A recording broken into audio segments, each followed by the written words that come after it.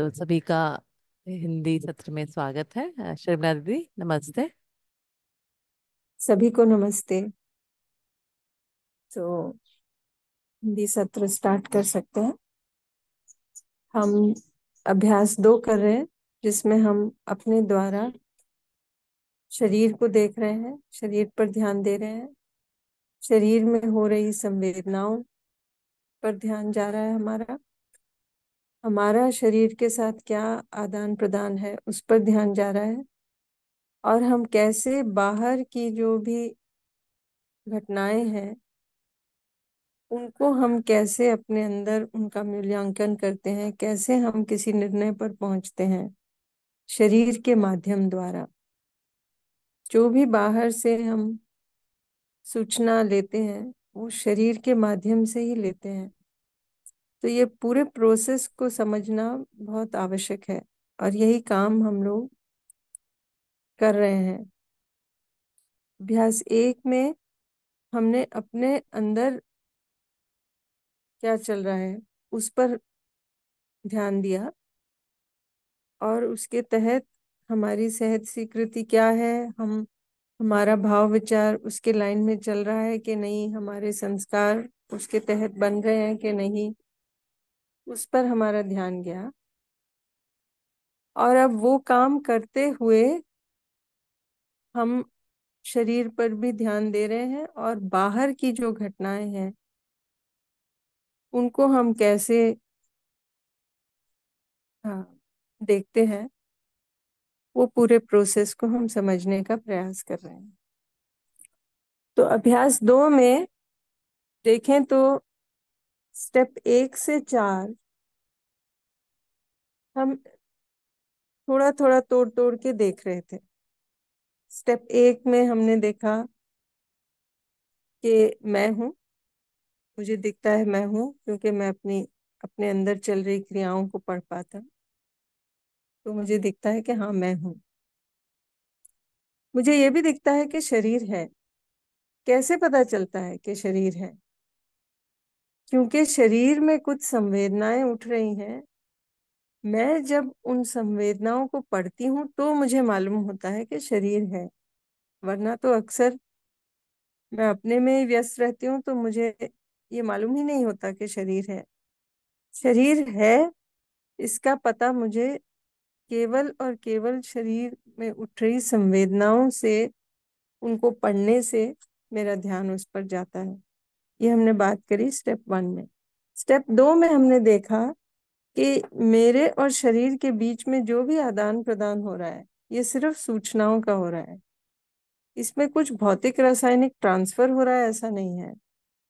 सिर्फ़ सूचना है। मैंने कुछ संकेत दिया शरीर को, वो एक सूचना है। मैंने कोई संवेदना पढ़ी शरीर से, वो एक सूचना है। और इसी स्टेप में ये भी ध्यान जाता है जो कि हमने तीसरे स्टेप में बात कही है तो ये एक, दो, तीन, एक मतलब एक सीक्वेंस में चल रहे हैं, जो कि बहुत नेचुरली दिखाई देगा। तो तीसरे स्टेप में हम ये बात कर रहे थे कि ये जो आदान प्रदान है, इसका निर्णय तो मैं ही ले रही हूँ। संकेत मैं देती हूँ, शरीर फॉलो करता है। संवेदनाएँ बहुत सी उठ रही हैं मैं ध्यान देती हूँ किसी संवेदना को, निर्णय मेरा होता है।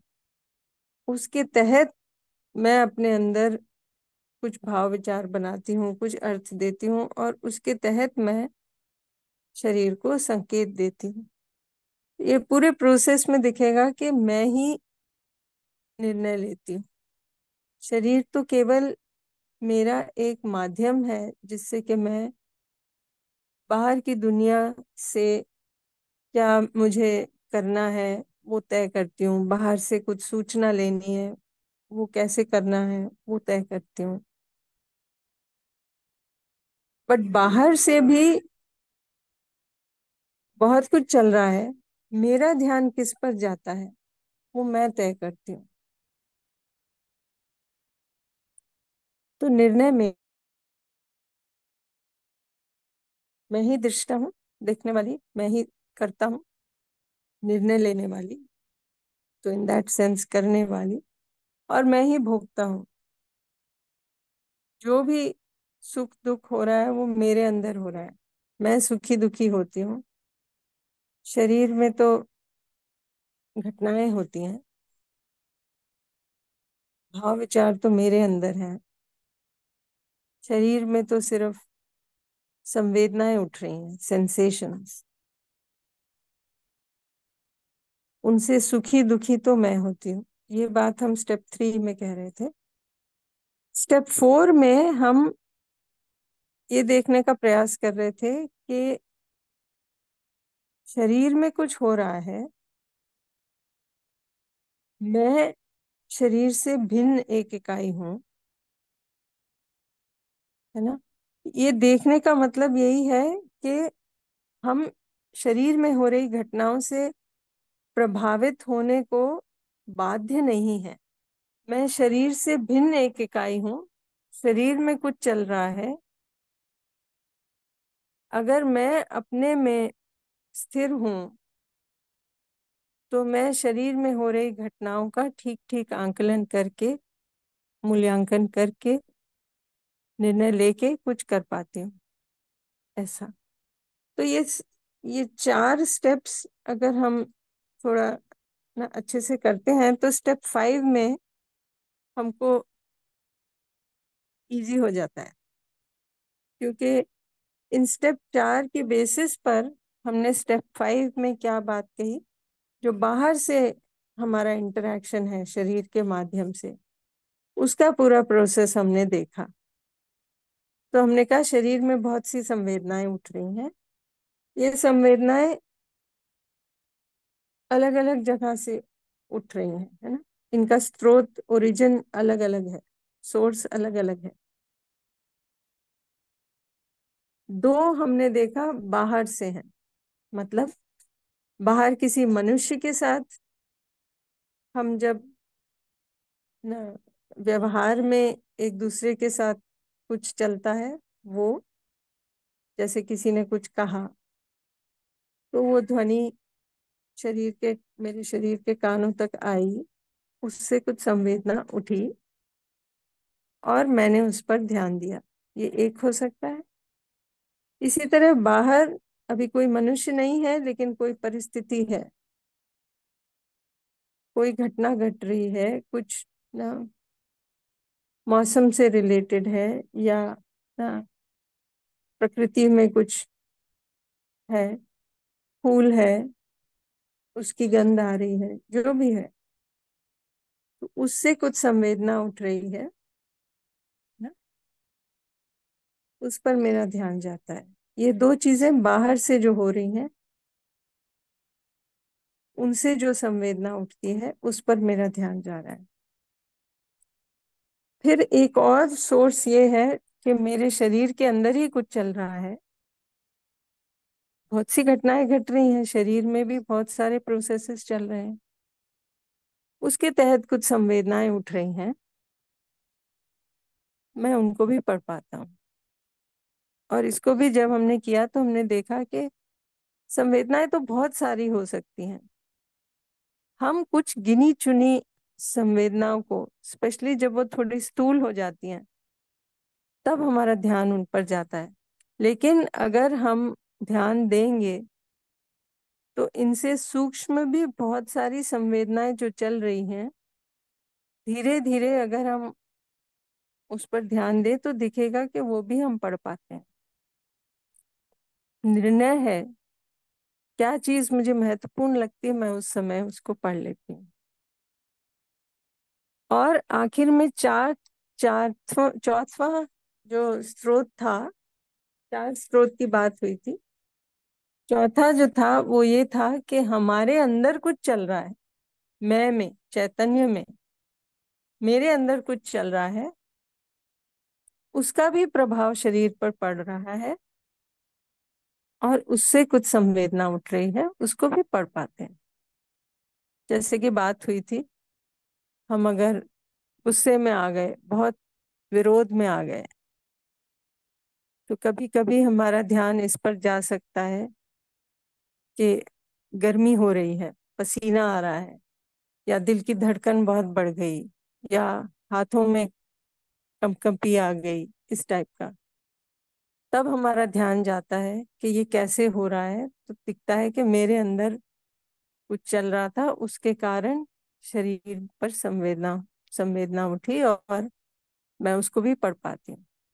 तो ये हम स्टेप फाइव में ये जो पहले चार स्टेप्स में हमने देखा, उसी को हम अब पूरा असिमुलेट करके एक साथ जोड़कर देख रहे हैं कि ये स्टेप फाइव में ऐसा प्रोसेस होता है कि बाहर से कुछ हुआ या शरीर में कुछ हुआ या मेरे अंदर कुछ चला, इन सब जगहों से शरीर में कुछ संवेदना उठी, उस पर मेरा ध्यान गया। क्यों ध्यान गया? क्योंकि मैंने उसको महत्वपूर्ण माना था। मैंने निर्णय पूर्वक उस संवेदना को पढ़ा। अब अगर मैं सजग हूँ तो मुझे दिखेगा कि मेरा निर्णय मैं सजग नहीं हूँ तो ऐसे लगेगा ऑटोमेटिकली हो गया। मेरे पास कोई चॉइस नहीं थी। लेकिन ध्यान दें तो ये सब में मेरी चॉइस है। मैं निर्णय कर रही हूँ, वो दिखे। तो मैंने निर्णय पूर्वक उसको पढ़ा। वो पढ़ के मैंने उसको कुछ अर्थ दिया, है ना? तो मैंने संवेदना को निर्णय पूर्वक पढ़ा और मैंने उसको कुछ अर्थ दिया। ये जो अर्थ हम दे रहे हैं, हमने हर इकाई के बारे में कुछ ना कुछ माना हुआ है। अपने बारे में भी, दूसरे के बारे में भी, प्रकृति के बारे में भी। देखेंगे तो बहुत कुछ माना हुआ है। वो क्या माना है? सही में ऐसा है या नहीं? अक्सर हमें उस पर कभी ध्यान नहीं दिया। तो जो भी हमने माना है, उसके तहत हम अर्थ दे देते हैं कुछ। अगर हमने जो माना है, वो सही के अर्थ में है, यानी कि जैसी चीज़ें हैं उसी के आधार पर है। तो तो हमारा मानना सही हो गया। और जब ऐसा है तो हमें दिखेगा कि हम बाहर कुछ भी चल रहा हो, उससे हम प्रभावित नहीं होते। हम, क्योंकि हमारा अर्थ सही है, हमारा भाव विचार भी सही बना रहता है। हम आराम में रहते हैं, सुखी रहते हैं। और सुखी होते हुए ज़िम्मेदारी से पेश आते हैं। अपने अंदर पहले तो ज़िम्मेदारी दिखती है, जो अर्थ दिया उसके बेसिस पर हम आराम में रहते हुए दूसरे का आंकलन, दूसरे का मूल्यांकन, वो सब चलता है हमारे अंदर। कुछ निष्कर्ष बनाते हैं और आवश्यकता लगी तो शरीर को कुछ संकेत देते हैं और इसको बाहर व्यक्त करते हैं। इधर वे सुखी दुखी तो हम अंदर पहले ही हो गए और इन दिस केस सुखी हो गए और फिर हमने आवश्यकता लगी तो बाहर संकेत दिया, वरना तो हम अपने अंदर ही आराम में बने रहे। अब अगर हमने जो भी माना है वो कुछ और मान लिया, सही में वैसा है नहीं। क्योंकि अगर हम धीरे, यू नो जैसे जैसे हम आगे बढ़ेंगे, देखेंगे, जो हमने अभ्यास एक में भी बात कर करी थी। तो पूरा जो अस्तित्व है, उसका जो पैटर्न है, वो संबंध का, व्यवस्था का, सह अस्तित्व का है। हमारा मानना इसके अर्थ में है तो हम आराम में बने रहते हैं। हमारा मानना इससे कुछ अलग है तो हमें दूसरे के ऊपर शंका होती है, ना? डाउट होता है सस्पिशन होता है। ये कहीं मेरे को ऐसा तो नहीं कर देंगे। या कभी भी कुछ भी हो जाता है, शरीर में भी कभी भी कुछ भी डिटेक्ट हो जाएगा तो फिर हम घबराते हैं, है ना? तो हमारा मानना कुछ इनसे अलग है तो फिर हम जो भी घटना हो रही है, जो भी हम संवेदना पढ़ रहे हैं, उससे हम प्रभावित हो जाते हैं। और अपना भाव विचार जो भी हमने अर्थ दिया, उसके बेसिस पे बना लेते हैं। तो हम सुखी भी हो सकते हैं, दुखी भी हो सकते हैं। डिपेंड करता है हमने क्या भाव बनाया डिपेंड करता है हमने क्या अर्थ दिया उस समय। और अक्सर होगा कि हम क्योंकि प्रभावित हो गए तो हमने अपने अंदर सही भाव नहीं रखा और हम हमारा भाव बिगड़ा हम प्र, प्रतिक्रिया में बहते गए दुखी होते रहे। और फिर आवश्यकता अनुसार अगेन हमने शरीर को कुछ संकेत किया। अगर आवश्यकता लगी तो उसको बाहर व्यक्त किया। नहीं भी किया तो अपने अंदर तो दुखी हो ही गए। तो ये पूरा प्रोसेस में, हर स्टेप में मेरी चॉइस है, मेरा निर्णय है। इसकी बात हुई थी। फिर आए हम स्टेप सिक्स में। स्टेप सिक्स भी देखें तो इसी का एक एक्सटेंशन है। इसमें भी वही बातें हुई कि ये चार स्रोत हैं संवेदनाओं के। मैं संवेदना को पढ़ता हूँ, संस्कार के साथ जोड़कर संवेदना को अर्थ देता हूँ, है ना? क्या अर्थ देता हूँ वो डिपेंड करेगा कि मैंने क्या माना है। मेरा संस्कार समझ के आधार पर है या नहीं है। उसी से तय होगा मेरा भाव क्या बनेगा। उसी से तय होगा मैं सुखी होऊँगा या दुखी होऊँगा अपने अंदर? मेरे अंदर ज़िम्मेदारी का भाव आएगा या प्रतिक्रिया चलेगी? और फिर जब आवश्यकता लगी तो मैंने उसको बाहर व्यक्त किया। अगेन, ये पूरे प्रोसेस में तो मेरी ही चॉइस है। इसमें अब हम देख रहे थे कि ये क्यों हो रहा है? ये तो सही है कि मेरा मानना सही नहीं है, तब प्रॉब्लम आती है। इतना तो हमें दिखा तो संस्कार बहुत आवश्यक है, ये बात हमने स्टेप फाइव में ही कर ली थी। तो हमें संस्कार को भी देखना ज़रूरी है है ना? स्टेप सिक्स में हम ये देख रहे थे कि इस पूरे प्रोसेस में क्या हो रहा है कि हम जब अपने अंदर सुखी हैं तब हम बाहर से प्रभावित नहीं होते। लेकिन जब जब मेरे अंदर भाव सही नहीं है, तभी हम बाहर से सुख पाने का प्रयास करते हैं।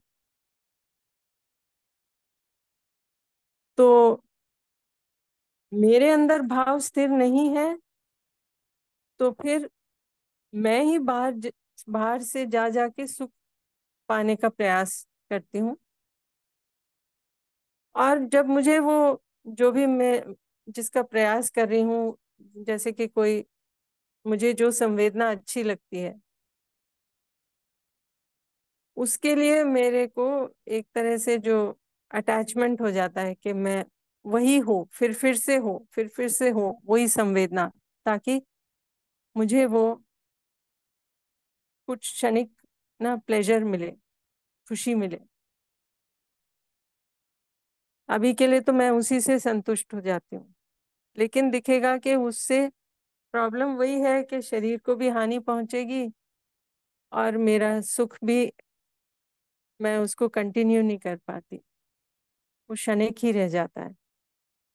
तो इसीलिए मुझे बार बार बार बार वो संवेदना से आकर्षण होता है। तो अंदर ही अंदर तो प्रतिक्रिया बार बार चलेगी। ऐसा है तो। एक तो क्षणिक सुख हुआ। उसको अगर सुख कहना चाहें तो या आवेश की स्थिति। और उसके साथ साथ अपने अंदर भी ये जो एक्साइटमेंट है, जैसे हम वो पेंडुलम की बात कर रहे थे। पेंडुलम को एक तरफ़ खींचते हैं तो वो धीरे धीरे धीरे दूसरी तरफ़ भी जाता ही है। इसलिए शायद पुराने टाइम में लोग कहते थे, बहुत ज़्यादा मत हंसो, फिर रोना पड़ेगा। क्योंकि जब हम नीचे की क्रियाओं में आ, रह रहे होते हैं जब नीचे की क्रियाओं में हमारा ध्यान पूरा टाइम रहता है तो हम इसी में लगे रहते हैं राग और द्वेष। जो चीज़ अच्छी लगी उसको बनाए रहने का प्रयास करते हैं जो चीज़ अच्छी नहीं लगी उससे कट लेते हैं, उससे दूर रहने का प्रयास करते हैं। तो ये आवेश की स्थिति हुई।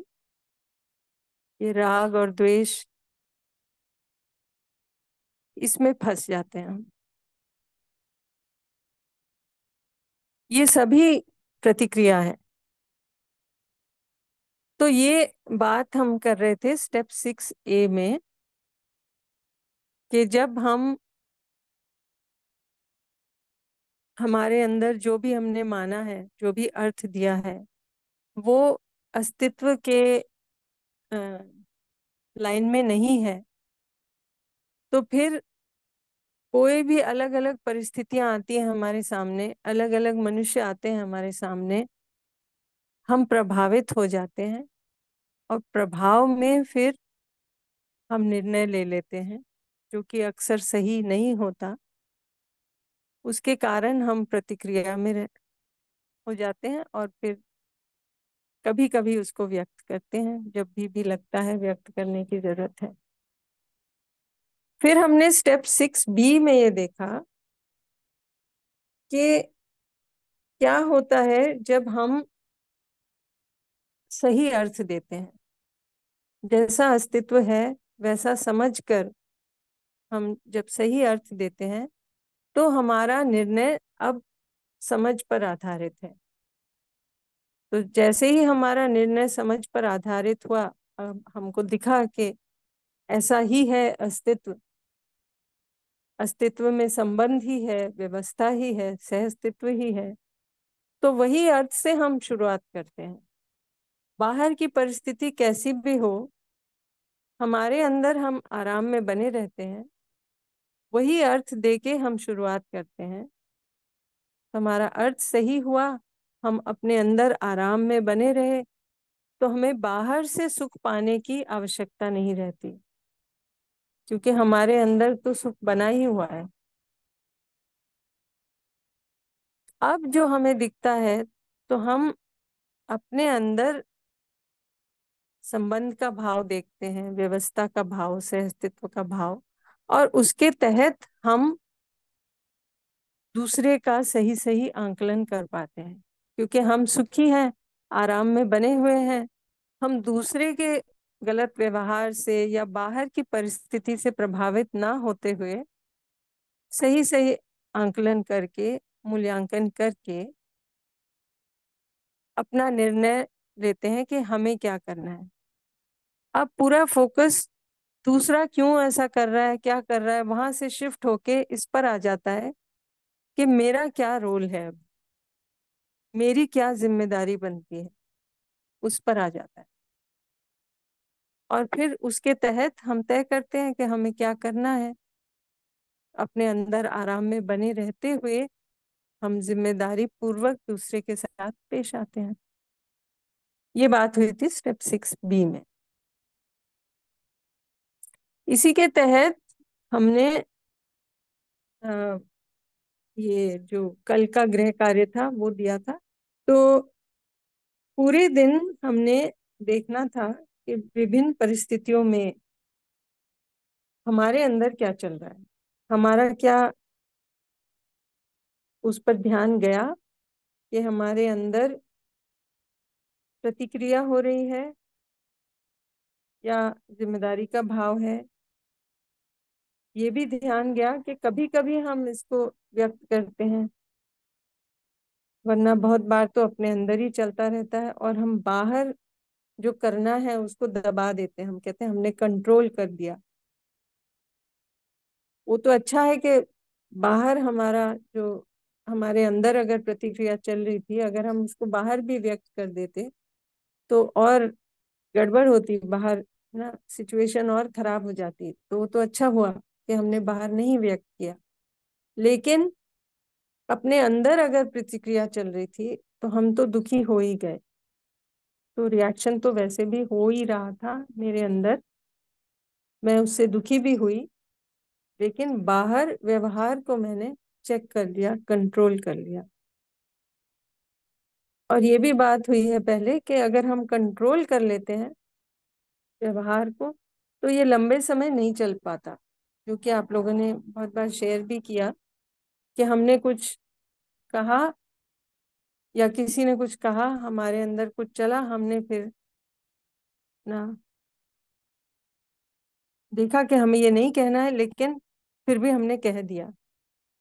या हमने उसको तो कंट्रोल कर लिया, लेकिन हमारे अंदर तो भाव बिगड़ गया इस टाइप का। तो वो भी दिखेगा, वो ठीक है जैसे जैसे हमारा ध्यान उस पर जाएगा तो वो और अच्छे से हम इसको कर पाएँगे।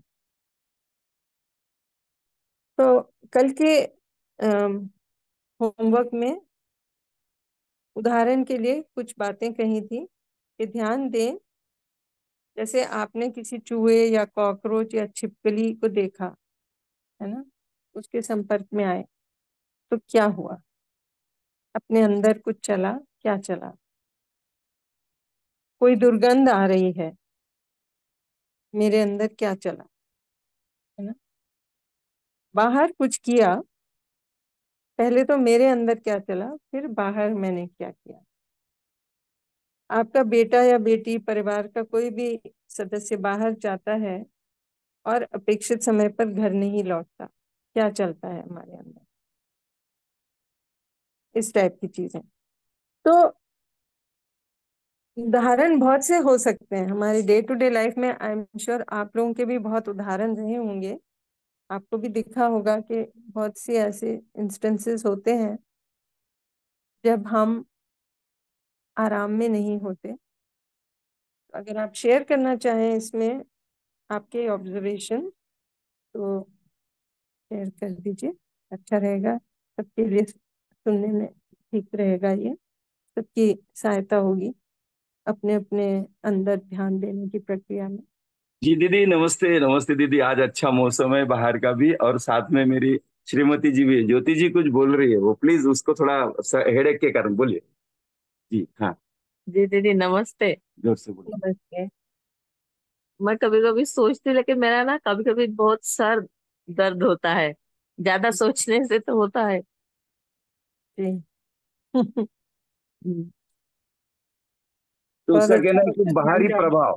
हाँ बोलिए। हाँ? नहीं ठीक है प्रशांत जी बताइए। बोल ना बोल तुला तुझं तो प्रॉब्लेम बताओ ना वो दीदी पूछ रही है। नहीं नहीं ज़्यादा सोचने से तो होता नहीं।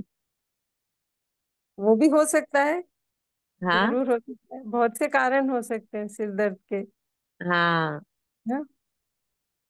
लेकिन तो। उससे देख के हम प्रभावित हो रहे हैं या हम हम्म को देख के उसका ना उसको सही करने के बारे में सोच रहे हैं उसके लिए कुछ कर रहे हम्म हैं है ना? हम्म हम्म हम्म ठीक है हमने पानी इनफ नहीं पिया उससे भी सिर दुख सकता है है ना?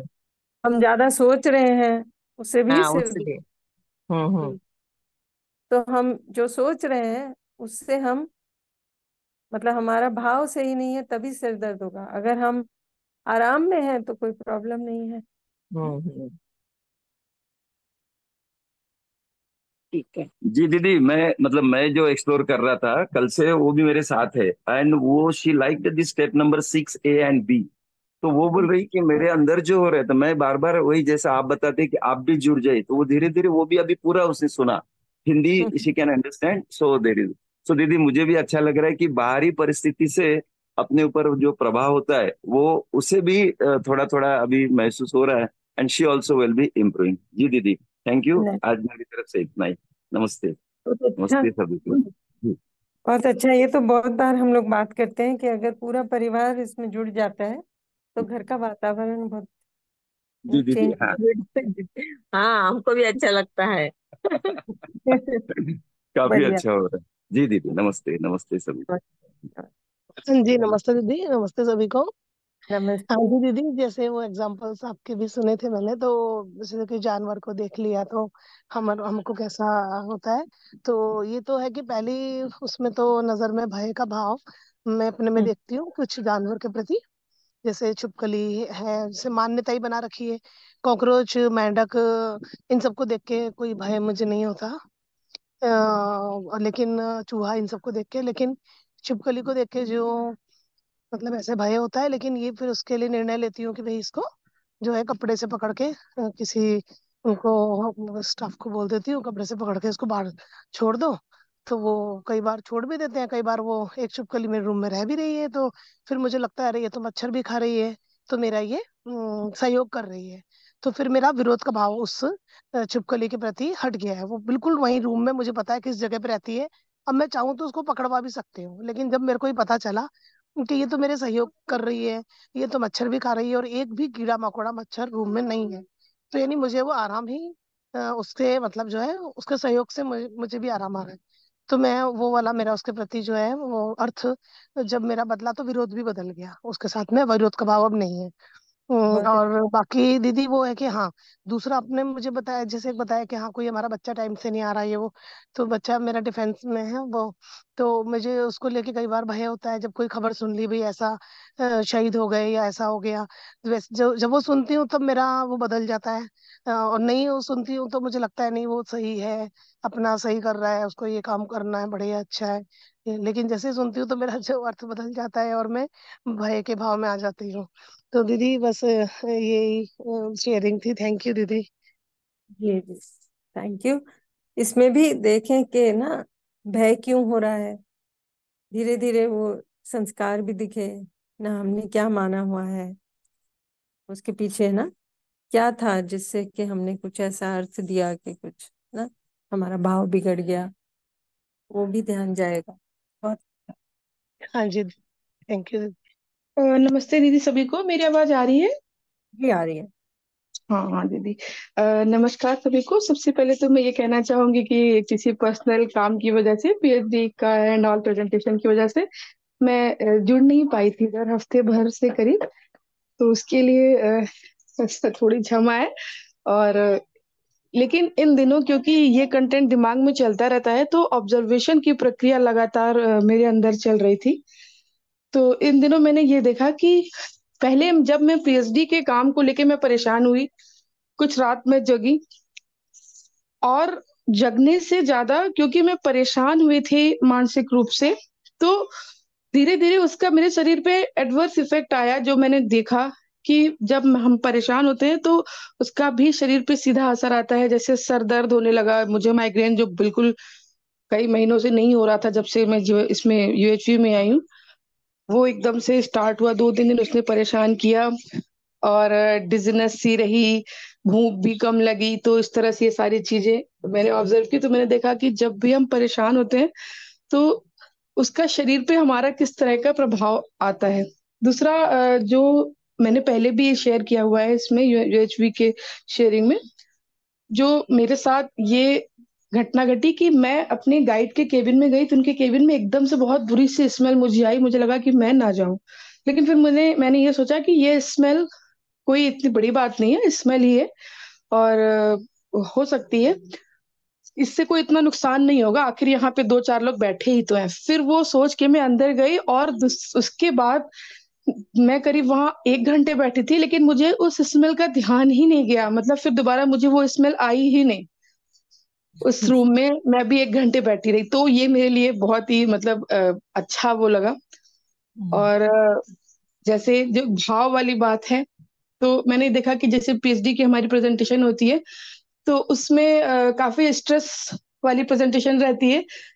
तो उसमें सब लोग एक तरीके से सीधा ब्लेम ही करते हैं।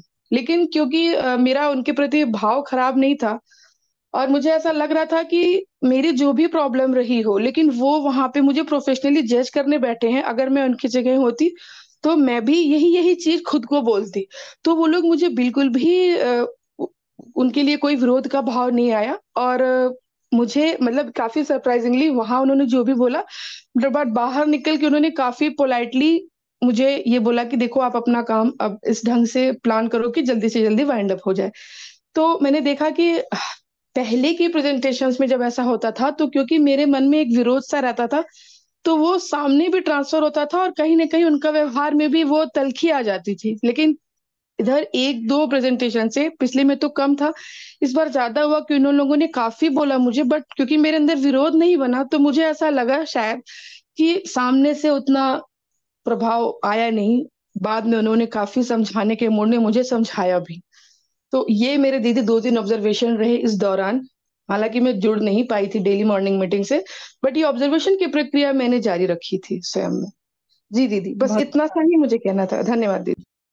बहुत बढ़िया। बहुत अच्छे से सब लोग अपने में काम कर रहे हैं और उसके रिजल्ट्स भी दिख रहे हैं। बहुत अच्छा। हाँ सभी को नमस्ते। हाँ दीदी जैसे जो ये नेगेटिव भाव आ जाता है अ, जी। जैसे मेरे बच्चे हैं छोटे बच्चे हैं तो जहाँ अगर वो खेलने जाते हैं तो सबसे पहले मेरे दिमाग में आ जाता है कि कहीं इनको चोट ना लग जाए कहीं ऐसा ना हो जाए कहीं वैसा ना हो जाए। तो इस भाव के पीछे संस्कार क्या मतलब किस तरह देखें उसको? ये मैं पूछना चाह रहा था आपसे। ठीक है ठीक है। इसको थोड़ा और अच्छे से देखिए अपने अंदर जैसे धीरे धीरे दिखेगा। अभी आप टेंथ बैच के हैं ना? मैम मैंने फ़र्स्ट टाइम ज्वाइन किया एक्चुअली में ये।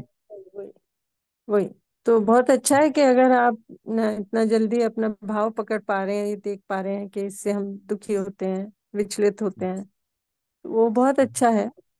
धीरे धीरे ये दिखेगा कि हमने कुछ मान लिया है। बच्चे के प्रति कुछ ना सबके प्रति हम कुछ माने रहते हैं। वो क्या माना है वो देखना होगा।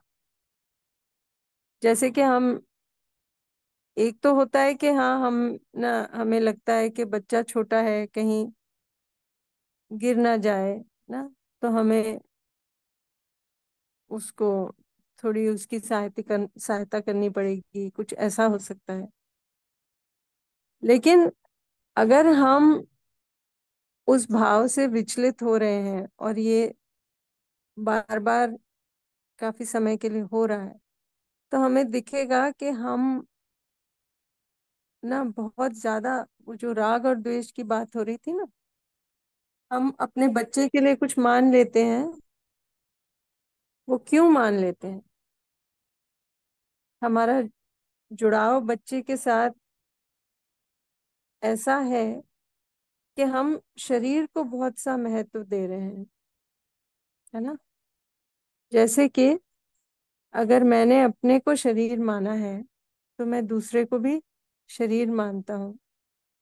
और मेरा, मेरे फैमिली मेंबर्स के साथ जो संबंध है, उसको मैं एक तरह से देखता हूँ। और बाहर के जो फैमिली से ना थोड़ा हटके हैं, उनको मैं दूसरे तरह से देखता हूँ।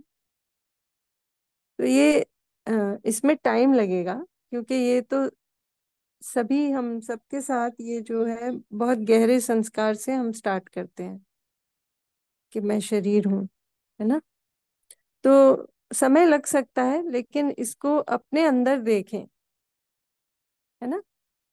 कि मैं भी, मैं एक अलग इकाई हूँ, शरीर एक अलग इकाई है। इसी तरह मेरे बच्चा भी, ना, शरीर एक अलग इकाई है, चैतन्य एक अलग इकाई है। इसको ध्यान में रखते हुए देखेंगे तो थोड़ा ना उससे क्लैरिटी बनेगी। ऑफ़ कोर्स ऐसा नहीं है कि हम बच्चे को छोड़ ही देंगे कि ठीक है, वो तो ना हम हम, हमारा उससे अटैचमेंट नहीं है तो हमने इग्नोर ही कर दिया। ऐसा भी नहीं। हम ध्यान देंगे कि उसकी ना सहायता करेंगे। अभी वो छोटा है, उसको कुछ गाइडेंस की ज़रूरत है, वो ज़रूर करेंगे। लेकिन अपने अंदर विचलित हुए बिना तो वो स्थिति धीरे धीरे होगी आगे बढ़ेगी। बट इसमें कुछ समय लग सकता है आप अंदर अपने अंदर काम करते रहें। ठीक है? दीदी जो मेरी अपनी है एक ऑब्जर्वेशन है जी। मैं मतलब इतना नेगेटिव या इस तरह से स्टार्ट क्यों करता हूँ किसी भी सिचुएशन में? वो इसलिए कि मुझे अपने अंदर देखने में मुझे ये लगता है कि मेरे फादर काफ़ी बीमार रहे कम से कम दस पंद्रह साल किडनी के पेशेंट थे। और काफ़ी स्ट्रेसफुल सिचुएशन रही हॉस्पिटल्स में जाना ये सब करना। तो वो सिचुएशन होते होते या वो संस्कार बन गया है इस तरीके का। कि कहीं भी कोई सिचुएशन होती है तो पहले मैं स्ट्रेस में आ जाता हूँ अब क्या होगा अब क्या होगा इस तरीके से थोड़ा। मुझे ऐसा लगता है कितना इसमें सही है या गलत है हाँ हो सकता है ना। हमारे साथ कुछ ऐसी परिस्थितियाँ घटती हैं तो हम एक मान लेते हैं कि ऐसा ही है ना? तो धीरे धीरे जब हमारा ध्यान जाएगा कि अस्तित्व में चीज़ें कुछ किसी ढंग से चल रही हैं, कभी भी कुछ भी ऐसे ही नहीं हो जाता, है ना?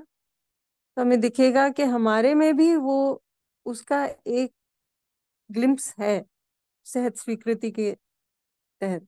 तो हमारा जब ध्यान अपनी सहज स्वीकृति के तरफ़ जाएगा तो हमें दिखेगा कि हमारे अंदर ऑलरेडी ये सहज स्वीकृति है, संबंध के लिए, व्यवस्था के लिए सहस्तित्व के लिए। तो वो धीरे धीरे उस पर ध्यान जाएगा। तो हमारे जो ऐसा लगता है ना, कुछ भी कभी भी हो जाएगा तो चीज़ें इतनी अव्यवस्थित भी नहीं है। हर इकाई में एक तरह की व्यवस्था बनी ही हुई है। ना, कभी भी कुछ भी घट जाता है, ऐसा नहीं है। तो हम धीरे धीरे हमारा उस पर उससे आश्वस्ति होगी तो धीरे धीरे ये हटेगा जो हमने गलत संस्कार बना लिया। बट वो टाइम लग सकता है बट उस पर ध्यान देते रहे होगा।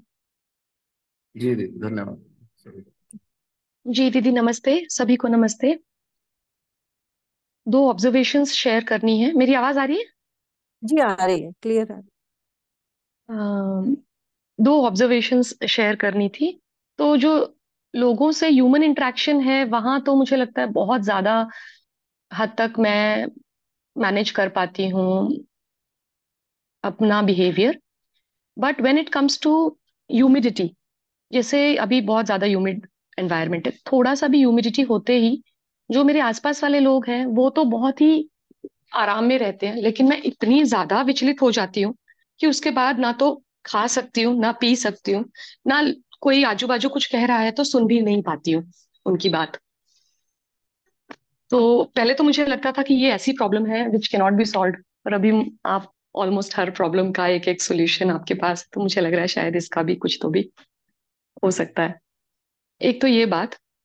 दूसरा जो आपने कहा कि घर से बच्चे जब लेट आए तो जो गए हैं एक्सपेक्टेड टाइम पे वापस नहीं आए तो तो यूजुअली मेरी डॉटर लाइब्रेरी जाती है रात को टेन टेन ओ क्लॉक उसको बोला है कि टेन ओ क्लॉक तक घर आ जाओ। Ten ten thirty eleven eleven ten अपने मन में ऐसा मैंने कैलकुलेट कर लिया कि भाई ऑलरेडी मैंने तुझे एक सवा घंटे का लीव स्पेस दे दिया, तब भी कुछ नहीं बोला। उसको तो नहीं कहा, लेकिन अपने मन में ही कैलकुलेट करती रही कि ग्यारह बज गए, सवा ग्यारह बज गए। इलेवन फिफ्टीन पे जब फ़ोन लगाने लगी पाँच सात कॉल आंसर नहीं किए, उसके बाद फिर एकदम एकदम मन में पारा शूटअप हो गया। एंड उसके बाद it was very difficult for me to control जो आप कह रहे हैं कि बाहर तो नहीं दिखाया। मेरे को लगा मैं उससे सुबह बात करूँगी, अभी रात को चालू हो गई तो बहुत मुश्किल होगा। फिर दूसरे बच्चों को जो उसके आसपास वाले सबको एक एक करके फ़ोन लगाया और फिर वो आ पाई। एंड मैंने रात को, वो आई तो कहती है कि क्या हुआ? मैं पढ़ी तो रही थी। मैंने कहा, तुझसे तो मैं सुबह बात करूँगी। मुझे लगा अभी मैं कुछ भी कहूँगी तो I will not be able to put my words in a subtle manner तो बस, फिर मैं उसको बहुत देर तक ऑब्ज़र्व करती रही अपने आप को, अपने आप को। इट टुक लाइक साढ़े बारह, एक बज गए और फिर कहीं जाके मैं सो पाई। तो ये दोनों ऑब्जर्वेशंस हैं दीदी। जी। तो दोनों में भी प्रोसेस तो सेम ही है है ना? देखिए, हम हम, हमारा जब भाव बिगड़ता है तो हम अपने अंदर विचलित हो जाते हैं, फिर चाहे हम बाहर दिखाएँ या नहीं दिखाएँ जैसे आपने कहा ना तुझसे तो मैं कल बात करूँगी। अब हमारे अंदर क्या भाव चल रहा था वो शब्दों में भी निकल ही आता है किसी फॉर्म में है ना? तो जी वो मैं हर बार नोटिस कर पाती हूँ कि अभी मेरा जो मैं सिर्फ़ हूँ भी बोल रही हूँ तो उस इट इज़ वेरी वेल अगले को ट्रांसफ़र तो हो ही रहा है बहुत इजीली बिल्कुल मेरा। ठीक बात है। और जो ह्यूमिडिटी तो वाला है वो उसमें मैं इतनी ज़्यादा विचलित हो जाती हूँ कि ना मैं सीधी खड़ी रह पाती हूँ वेडिंग्स वगैरह में जाना तो बहुत दूर का काम है। अभी है भी तो ड्रेसअप होके या छोटा मोटा मेकअप करना तो बिल्कुल मुश्किल है। लेकिन उस थोड़ा सा भी ह्यूमिडिटी होते ही लाइट चली जाती है तो सामने कोई खड़ा होकर कुछ भी बोल रहा है तो वो कानों के अंदर भी नहीं पड़ता और मतलब उस संवेदना के आगे दूसरी कोई भी संवेदना सुनी नहीं जाती या जी जी जी। पढ़ नहीं पाती। देखिए एक तो हुआ कि संवेदना से हम प्रभावित हो गए, है ना? फिर इसको देखेंगे कि हमने उसको क्या अर्थ दिया है कि हम इतना प्रभावित हो जा रहे हैं उससे, है ना? कि संवेदना अनुकूल नहीं है तो हमारा इतना बुरा हाल हो गया कि हमें ना कुछ भी सूझ नहीं रहा इस टाइप का। तो हमने कुछ अर्थ दिया है है ना? वो भी दिखेगा। फिर देखने जाए तो भाई मौसम तो बदलता रहेगा, मौसम अपने हिसाब से चल रहा है है ना? अगर मैं उसको समझ लूँगी कि भाई मौसम तो बदलेगा ही, मौसम तो चेंज होता रहेगा तो मैं, मेरे अंदर वही मौसम का इतना प्रभाव मुझे नहीं दिखेगा। बात अपने अंदर की ही है दोनों केसेस में। इवन बच्चे के साथ जब देखें तो अगर मैंने कुछ मान लिया है है ना? बच्चे के लिए कि बच्चा सबसे पहले हम क्यों ऐसा सोचते हैं कि बच्चा टाइम से नहीं आया तो कुछ गड़बड़ हो गया या उसकी गलती है? हो सकता है कभी कभी हम ऑफ़िस में काम कर रहे होते हैं। बच्चा फ़ोन करके बोलेगा कि आप कब घर आ रहे हो? हमने कोई टाइम बताया, लेकिन हम उस टाइम पे नहीं पहुँच पाए। होता ही होगा कभी कभी ना, काम ज़्यादा हो गया, कुछ हो गया तो हम बच्चे को इन्फॉर्म नहीं करते हुए भी हम देर से घर पहुँचते हैं। अब बच्चा भी उसी स्थिति में है जिस स्थिति में हम थे है ना? ये तो मैं डेली करती हूँ राइट। तो देखेंगे कि भाई हम हम भी चाहते ना चाहते हुए भी ऐसे कर पा कर देते हैं कभी कभी तो बच्चे के साथ भी ऐसा हो सकता है है ना? वहाँ से शुरुआत करें। कि पढ़ हम्म। रही है काम कर रही है ठीक है हम पहले तो आश्वस्ति के साथ पेश आए ना? विश्वास का भाव रखें फिर उसके साथ स्टार्ट करें। तो देखेगा कि भाई जब हमारा भाव सही होता है तो हम अपने कंसर्न को भी अच्छी तरह रख पाते हैं कि हमें फ़िक्र हो जाती है चिंता हो जाती है टाइम से नहीं आती तो थोड़ा एक फ़ोन कर देना तो ठीक रहेगा या इस टाइप का। जी दीदी। दोनों ही केसेस में आई थिंक आई गॉट काफ़ी क्लैरिटी जी। नमस्ते। नमस्ते। तो आज दिन भर में भी हम ये कोशिश करेंगे कि अब तक के जो पूरे स्टेप्स हुए हैं, अगर हम स्टेप सिक्स को भी देखें तो वो अब तक के हुए स्टेप्स का ही एक तरह से एसिमिलेशन है, ना, सबको एक साथ रख के देख रहे हैं। तो इस पर हम ध्यान देंगे, गृह कार्य भी हम ग्रुप में भी डाल देंगे कि हम और शेयरिंग्स हैं, वो ले लेते हैं। कल हम फिर स्टेप सेवन पर आएँगे। जैसा कि अभी वो दीदी वो बोल रही थी कि ये वेदर के कारण जो एक थोड़ा सा ऐसे प्रॉब्लम होती है कि हम कुछ भी नॉर्मली नहीं रह पाते हैं तो सेम मेरे साथ भी था। तो बट आपके आंसर से मेरा भी प्रॉब्लम सॉल्व हो गई। दूसरा है कि जैसे मैं कहीं घर से बाहर जाती हूँ और फिर घर पे आई। तो जैसे कुछ भी चीज़ें प्रॉपर नहीं होती है तो उसमें मैं इतना हाइपर हो जाती थी पहले।